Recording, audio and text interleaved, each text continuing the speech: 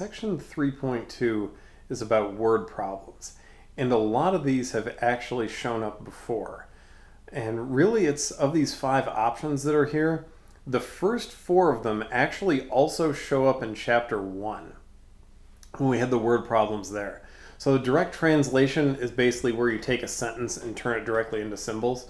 Um, and then geometry, so that would be like area and perimeters and things. Um, mixtures, that would be stuff like when we had questions about like if somebody was going to invest money in two different things and how much are they going to invest in each part or maybe the ones where it was actually like mixing stuff like you have this acid solution this other acid solution and you want to mix them together and you want to have an acid solution of 50% or something like that. Those are also going to be mixtures. Um, and, and they showed up in chapter one. And so did the uniform motion where we had it like with um, like riding in a boat and that kind of thing um, where we can still do these, but now we have some extra flexibility, and that's why they show up again. Because now you can solve them as a system. The way that we did it in chapter one, even though we didn't really talk about it, there were points where we were using substitution. Um, because we were basically just using some kind of constraint and then kind of rephrasing one variable in terms of the other. And we didn't really call it what it was, but that was substitution. The new one is this. Like this last, very last thing here, this we have not had at all. So finding the intersection of two linear functions, um, it's actually not that tough. And like when you get one, you'll know what it is because it looks nothing like the other ones. So that's actually really helpful. Um, but that's the one that's brand new. The other ones kind of aren't. Um, so like for number one, we have two um, basically two statements here that are telling us about a couple of numbers that we don't know. So the sum of the two numbers is 64, and then one of the numbers is 16 more than three times the other, and we want to find those two numbers.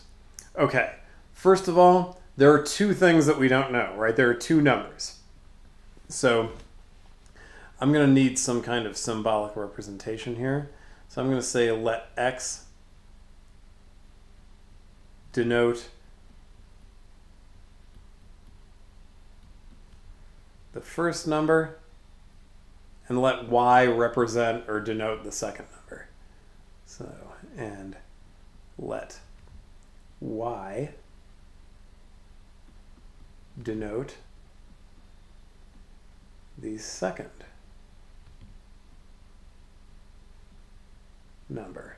Right? It doesn't really matter what you call them. Most people are going to either call them x and y or a and b right? I mean, I think those would be the most conventional things. But I guess as long as you use some kind of symbol where you're using different symbols so you can tell them apart, I suppose that would actually work. Um, but let's see, the first sentence. So since we're doing a direct translation, we should be able to turn that first sentence right into symbols. So the sum of the two numbers is 64. The first number is x, the second one's y. Then we could write this as x plus y equals 64. And then the second sentence, um, remember, think of is as being the equal sign. So on one side of the equal sign, you have one of the numbers. And then on the other side, you have 16 more than three times the other. So for the second sentence, so for one of the numbers, it doesn't really matter which one, so I'm just going to say x, that that's equal to 16 more than three times the other one. So 16 more than three times y. So that would be 3y plus 16, or if you want to write that as 16 plus 3y, that's certainly fine.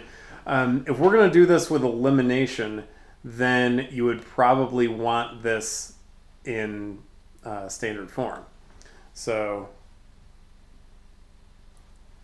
I suppose then we'd have x minus 3y equals 16 in standard form. Since with standard form, you want to have the x and y terms on the same side and then the constant on the other. So it looks like that's what you would do. And if you're looking at this and you're going, hold on, this is already solved for x, why would you just do substitution here? I'm right there with you. I would. Um, but in this section, um, like if you look in the book, a lot of this is done with elimination. So I kind of wanted to work a lot of that in there to kind of match things up. But yeah, if you're looking at this and you're going, this is already solved for x, so couldn't you just use substitution? Uh huh. And I think we got enough room to where we could actually do both. So I think what most people would do, because you already got one variable solved for, would be to then say like, okay, well then if you used substitution, then you could say, well, we know what x is, 3y plus 16. You could say then 3y plus 16, right? And I'll just put this in parentheses since that's representing x, um, plus y equals 64. But those parentheses are just for show. They don't really do anything here, right? We're just adding a bunch of stuff. So if you add things together, you're going to get 4y plus 16 equals 64. And then if you solve this, you subtract 16 from both sides, you get 4y equals 48, and you end up with that y is equal to 12, right? And then um, in order to get x, um, you could sub into either original equation. And even though the second one is solved for x, I'm going to use the first one just because it looks simpler. So x plus y equals 64, but then y is 12. So x plus 12 equals 64. And then that would mean that x is 52. Um, and then to check these, well, I think we got enough space for this. To check the x plus y is 64, I think you can just see it, right? 12 plus 52 is going to be 64. Um, checking the other one is probably worth it though. Um, so if we check the other one, so 3y plus 16 would be 3 times 12 plus 16, but 3 times 12 is 36, so that's 36 plus 16, which is 52, and that's x, and that's what's supposed to happen, so that works. Okay, yeah, so if you're going to use substitution, be done right here. Um, but you could also do this with elimination. Um, I hope I got the space for it. All right, so if you used elimination, you'll get the same thing. Um, so you'd have your system. So you'd have the x plus y equals 64. And then I'm going to write the other one in general form. So x minus 3y equals 16. And then you want to eliminate one of the variables. I would probably jump on the y just because they're opposite signs already. So then I would just multiply both sides of the top equation by 3. So 3 times x plus y equals 3 times 64. And then x minus 3y equals 16 still on the bottom. And then if you simplify the top, distribute the 3 on the left side, that's 3x plus 3y. Right side, that's 192. And then x minus 3y equals 16. All right, if we add, then uh, we got additive inverses of the y term, so those are gone. They're going to add out, we're just going to get 4x. And then over here, this is 208. And 208 divided by 4 is 52, right? So you're going to get that x is 52, which is what we're supposed to get since we already know the answer. And then um, I guess I'd have to go, I got to use this space over here to sub into an original equation. Um, and I'll just use the first one again. So x plus y equals 64, and we said if x is 52, so 52 plus y equals 64, then yeah, y is going to be 12, and we get the exact same thing. Um, so if you're looking at this and thinking, well, why would you do the elimination? Like the substitution looks a lot easier considering this is already solved for x. And even if it wasn't, to solve x plus y equals 64 for either x or y is not that hard, right? It's one step. Um, it just depends on what you see first, right? The substitution, for me, that's easier. And I think for some people, that's easier. But there are going to be other people who just see the elimination first. And I would say, like, whichever one you see first, go with it, right? Because that's where you can at least follow your intuition. And I think that's a good thing. Um, but it will work either way. All right, so we've got um, direct translation. There are a couple of them uh, that show up in the homework. And then geometry.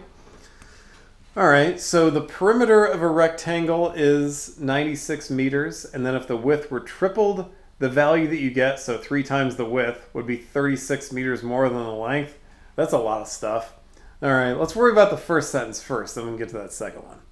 So generally, the perimeter of a rectangle, you just add the four sides up. But you have two sides that are one length and two sides that are another length, right? That's how that's what rectangles look like.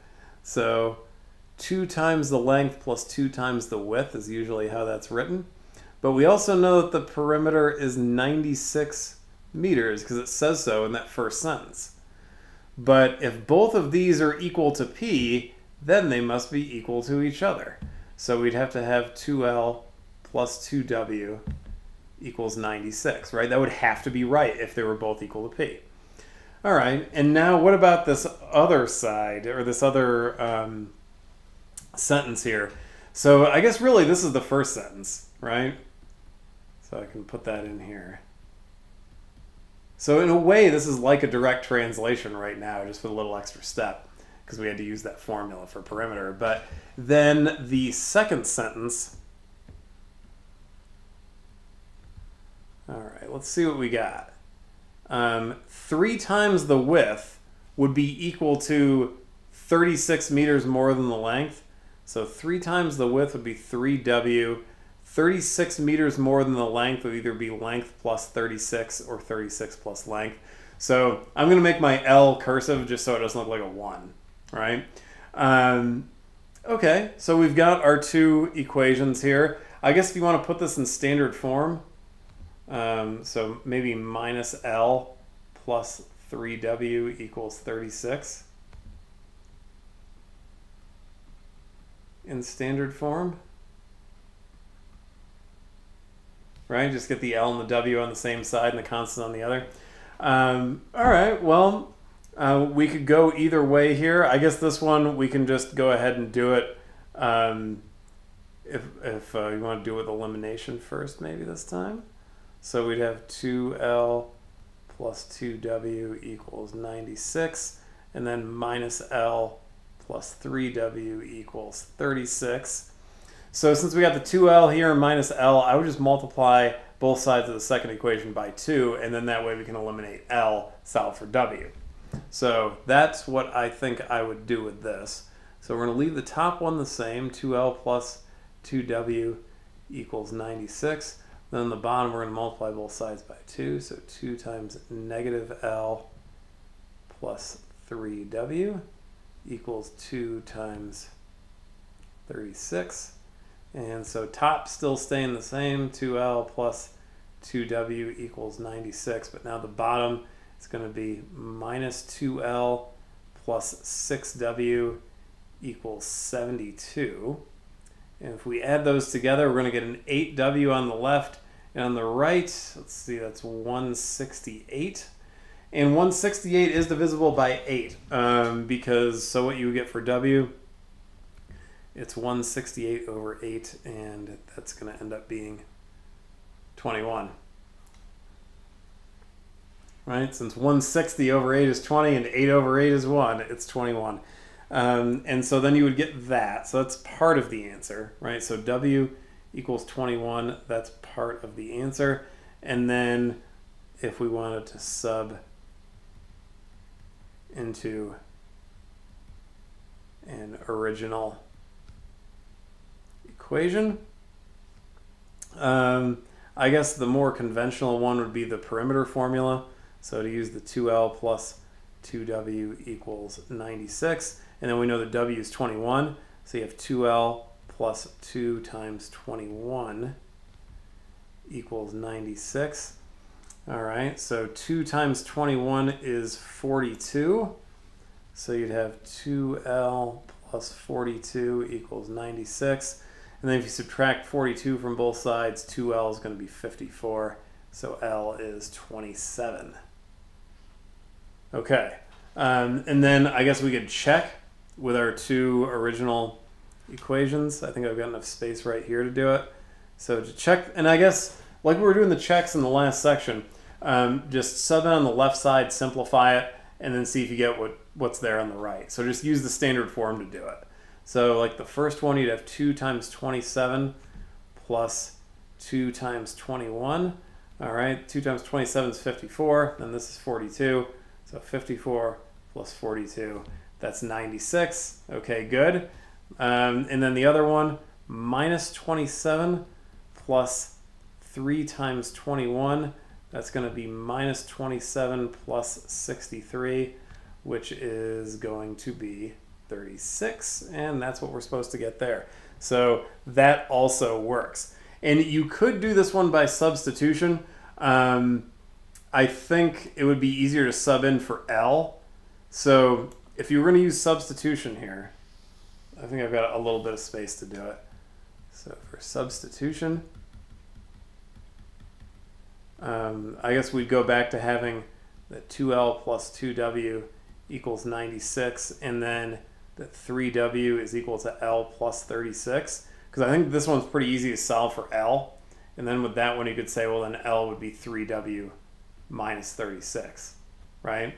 And so then you could sub into the first one, and you'd have that 2 times 3W minus 36 plus 2W equals 96, right? And then I guess distribute that too. So 6W minus 72 plus 2W equals 96. You could combine terms and say 8W minus 72 is 96. If you add 72 to both sides, 8W is 168. So W is going to be 21, right? Just like it was before. And then um, if you go and sub into an original equation, you'll get the right length. So I guess you have to do a couple more steps, but eventually you get the length is 27. Um, so like the go back and sub in part, that would look just like it would up here, where I just did it with the perimeter, and yeah, you get the 27 again. All right, um, so geometry ones, that's another option that could show up here. Mixtures, um, and I wanted one that wasn't actually just like a mixture of liquids. So this this fits, right? Dimes and well, dimes and quarters can be liquids if the temperature is hot enough, I suppose. But that's not really what I was going for here. Um, so it says Paul has 40 dimes and quarters worth a total of 850. So how many of each coin does he have? So how many dimes does he have? How many quarters does he have if he's got 40 coins and they add up to that much?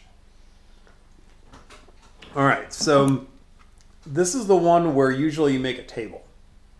Um, so I guess we're going to have our two coins, right? Or I guess we'll say coin type. That feels better. So we're going to have dime quarter. All right, so then I guess we're going to need the, the total value of uh, dimes and the total value of quarters.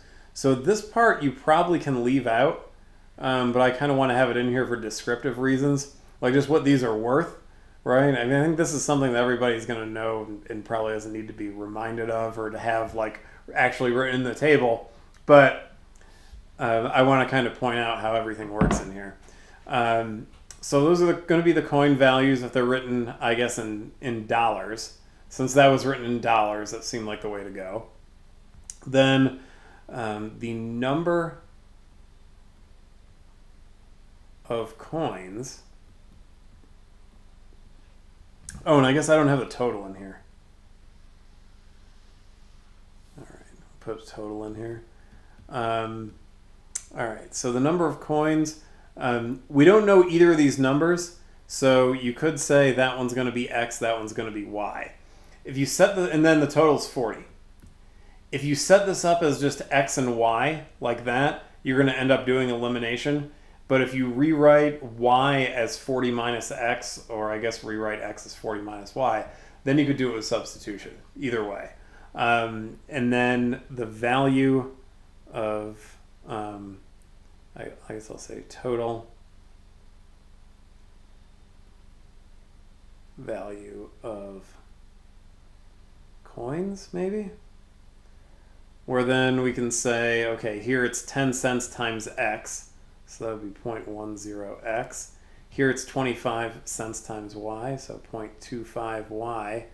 And we know the total value is supposed to be 850. So then if you were going to use elimination,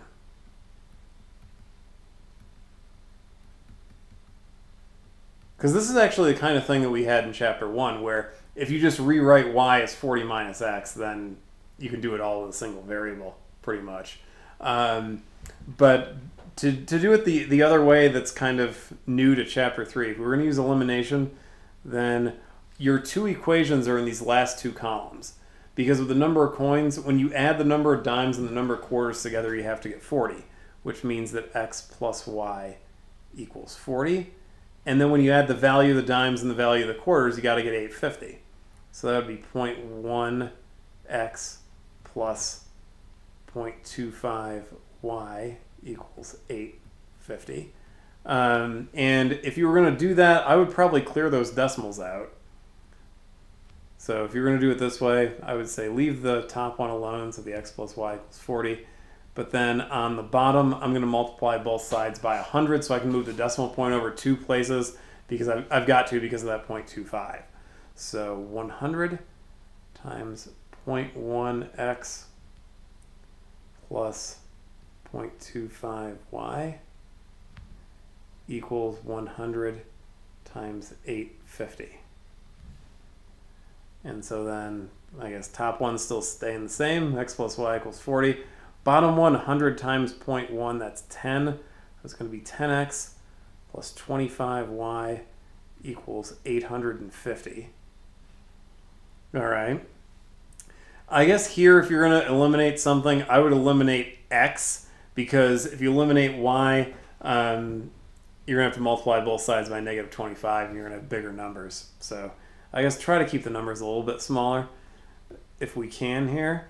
So negative 10 times x plus y equals negative 10 times 40. And then the other one staying the same for now, 10x plus 25y equals 850. Uh-oh. I can't write anymore.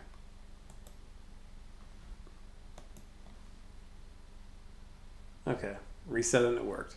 Um, so 850.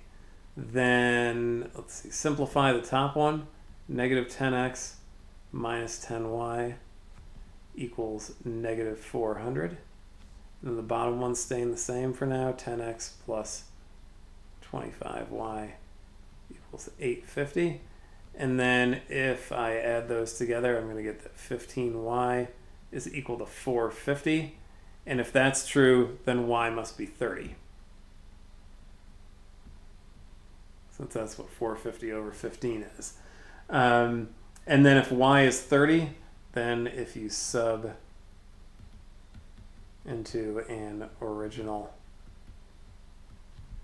equation to get x, the first one would be simpler. So the x plus y equals 40. That's what I would use here.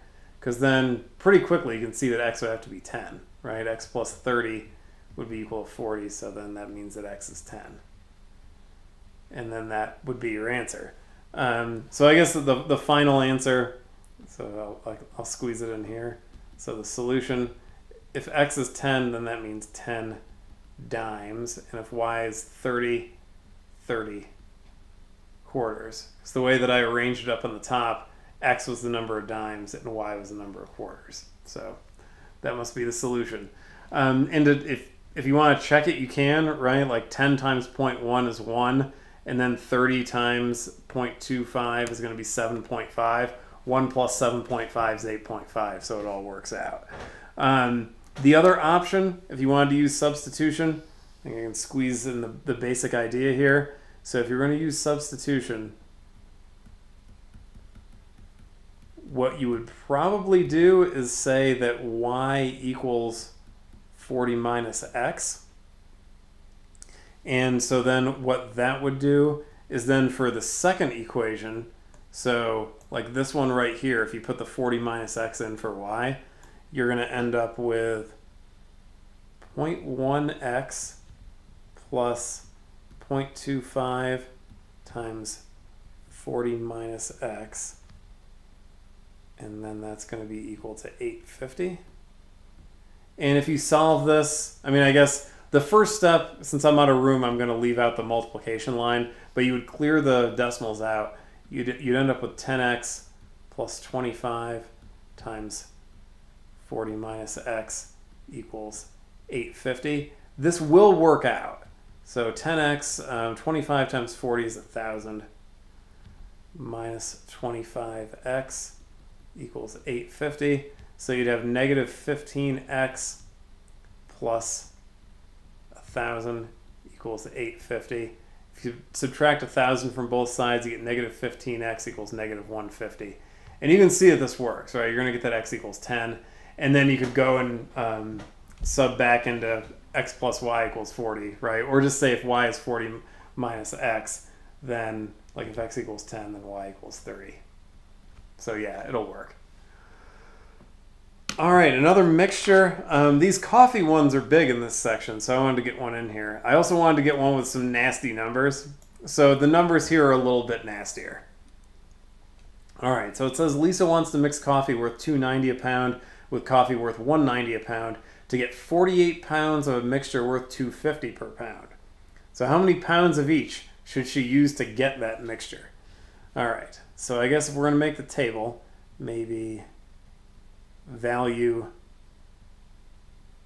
per pound, right? Because we know one of them is 290, one of them is 190, and then when we get to the total, which I guess I can draw this going way across here, it'll be 250.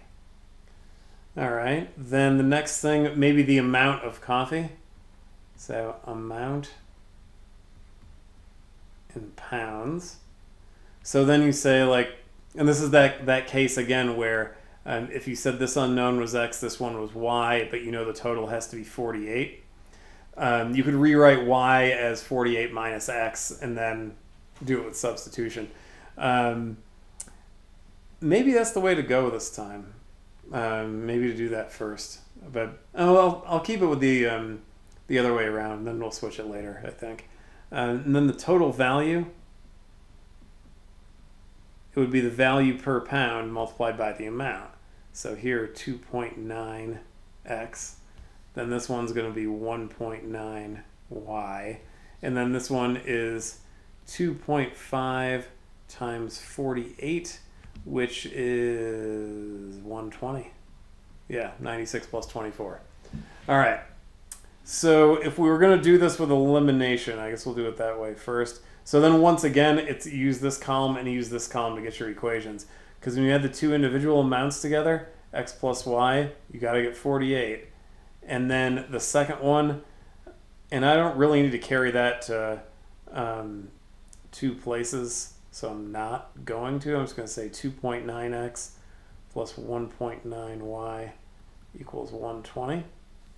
So you could do it that way, and then you want to clear those decimals, right? Multiply both sides of that bottom equation by 10. So you'd have x plus y equals 48, and then on the bottom, 10 multiplied by 2.9x plus 1.9y equals 10 times 120. So then we're going to have x plus y equals 48 still on top. And on the bottom, that's going to be 29x plus 19y equals 1200. All right. So then you could do it like that from here. Um, this is one where it looks like what's going to happen is that you get some huge, huge numbers. Um, so I was right at first. This one we should do with substitution because otherwise you're either going to have to deal with a 48 times 19 or a 48 times 29. I don't want to do it with numbers that big. So yeah, we could do it with substitution right here. So all we really did so far was clear the decimals anyway.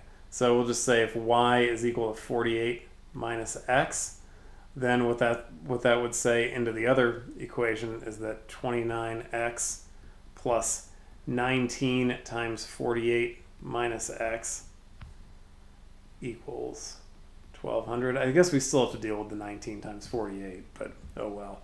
Um, let's see. So then this is going to be 29x plus, Okay, 960 minus 48, which is 912, minus 19x equals 1200.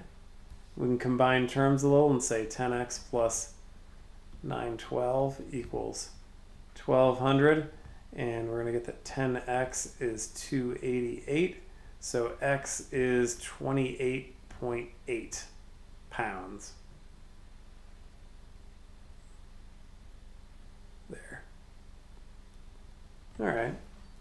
Um, and then we'd have to sub back in in order to get y, but we could just use this, right? Because then if that's what x is, then y is going to be 48 minus 28.8, which is 19.2 pounds. So there are our two amounts. Um, and then if you want to do the check, so kind of looking at this, you can tell that x plus y is going to be 48. That's not a problem. Uh, really, I guess then you got to worry about the other one. So this one, or if you want this one where um, the decimals are gone. So we could do it that way.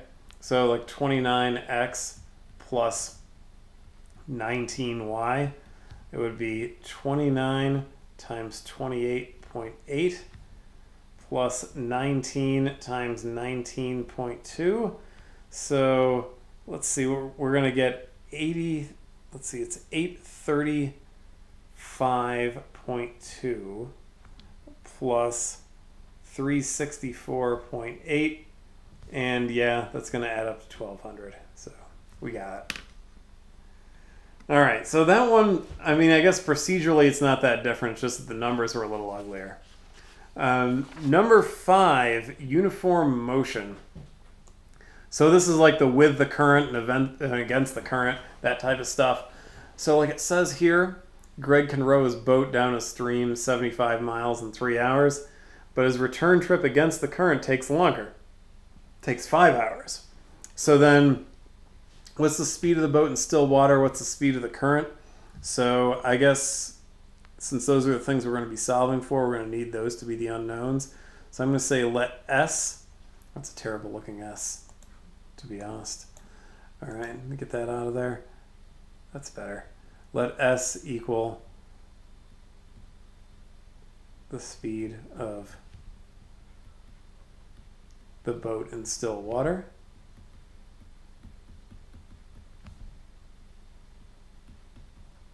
And then let c equal the speed of the current. Okay, well then um, if we're using speed, then speed is equal to distance over time. So I think we can use that.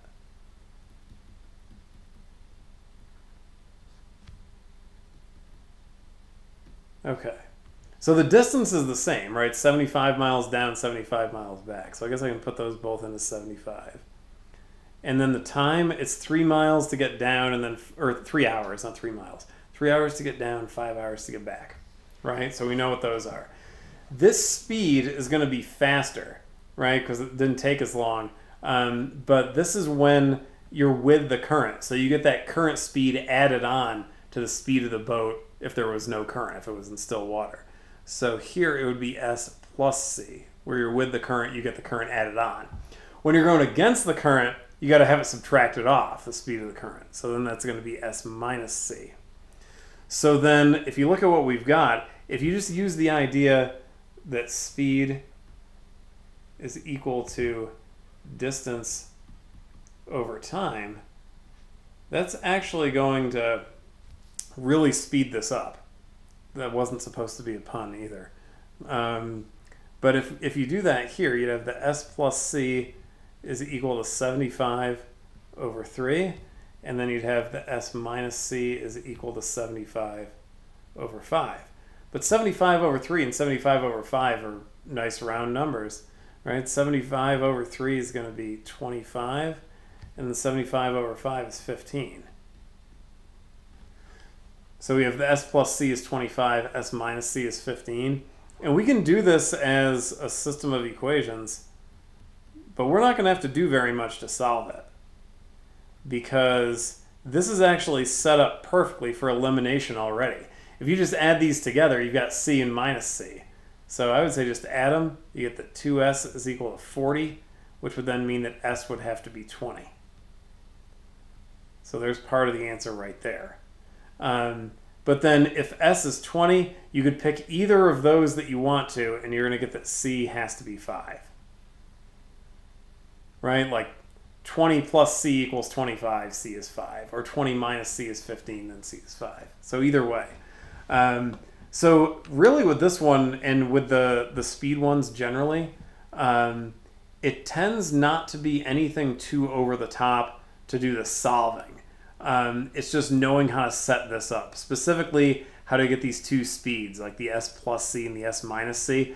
I think the best way to think about it is that if you're going with the current, you got to add it, right? You add the current in, um, and if you're going against the current, you got to subtract it.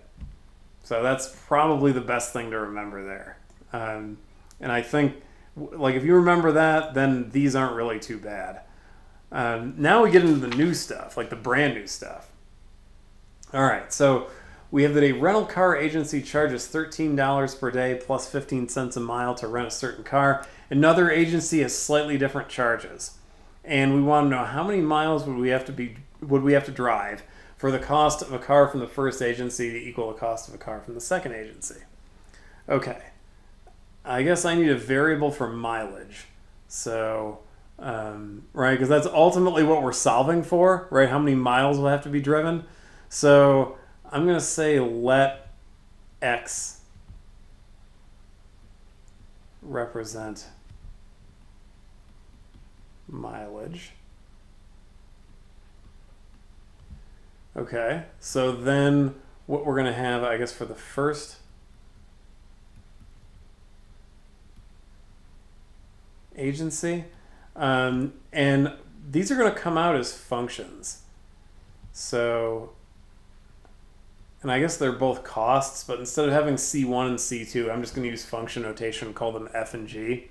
So like for the first agency, you have that F of X uh, would be, so it's $13 per day plus 15 cents a mile.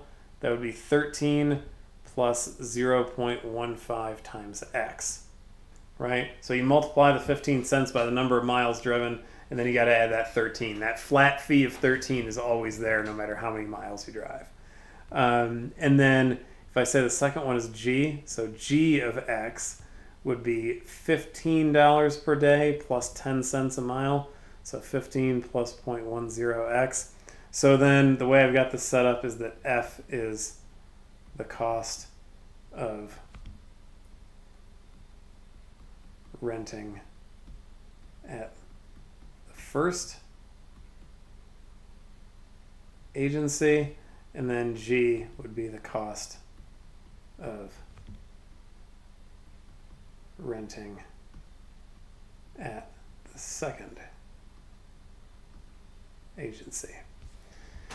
And then we want to know um, when they're going to be equal right? When the cost of the first is equal to the cost of the second. So what we want, so we want the mileage, so the value of x, where f of x equals g of x, right? So where those two costs are going to be equal. So then basically we can just set those equal to each other. So we'd have 13 plus 0.15x equals 15 plus 0.10x.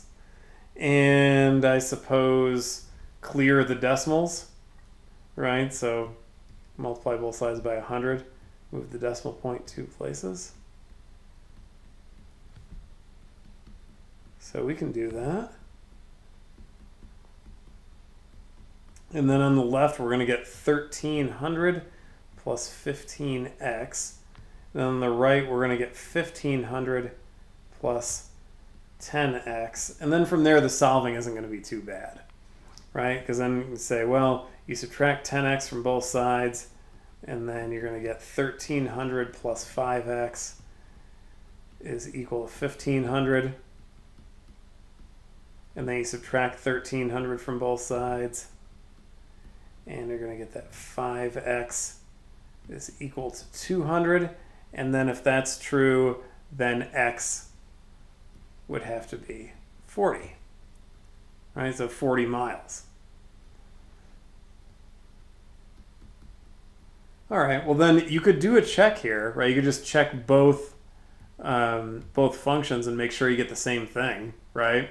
Because if you get different things, then something must have gone wrong. But if we just kind of go through and evaluate f of 40 and then g of 40, f of 40 would be 13 plus 0.15 times 40. But 0.15 times 40 is 6. So that's 13 plus 6, which is 19. And then g of 40 would be 15 plus 0.1 times 40, but 0.1 times 40 is 4. That's 15 plus 4, also 19. So we're all set, right? That works. All right, next one. Um, suppose that the quantity supplied and quantity demanded of a book at a bookstore are given by the following functions. So S for supply, D for demand, and then we want to find the equilibrium price, so the price at which supply and demand are equal. All right, so um, what we want, so an A, so we want the value of P such that S of P is equal to D of P, right? Where supply is equal to demand. So basically we can just set those equal to each other and then solve for P. So we're going to have negative 1,000 plus 150P equals 20,000 minus 100P. So I guess we can add 100P to both sides. So then we're going to have negative 1,000 plus 250p on the left, and then we're going to have 20,000 on the right, and then we're going to get the p term by itself and add 1,000 to both sides. And if we do that, we're going to get that 250p is equal to 21,000. And if there are, if 250 times 4 is 1,000, then this is going to end up being 84 when you do the division by 250. So apparently, that's the equilibrium price is $84 for that book. So I guess I could put the dollar sign in there. Um, and then what's the equilibrium quantity? Um, I guess you could use either function, right? Because they should be the same. If it's the equilibrium quantity, you should have the same supply and demand.